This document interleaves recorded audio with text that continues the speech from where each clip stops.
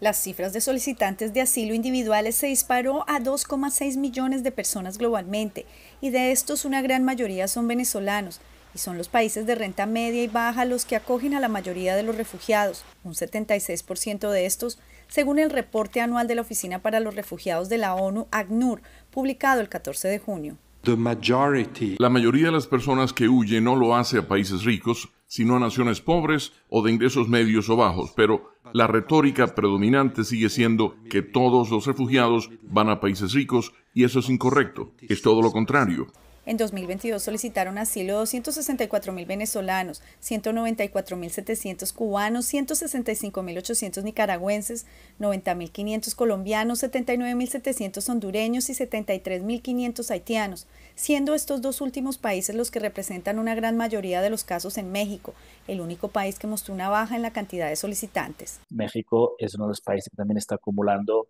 un mayor número de solicitudes en proceso o solicitudes que están pendientes de resolución. Eh, en México está procesando actualmente alrededor de 5.000 personas mensualmente y tiene una alta, una buena tasa de elegibilidad de personas refugiadas, pero necesita todavía incrementar su capacidad. El número de solicitantes de asilo llegó a casi un 68% en comparación con 2021, la cifra más alta registrada por este organismo. Más de dos de cada cinco solicitudes que se hicieron son de latinoamericanos, en especial de Cuba, Nicaragua y Venezuela.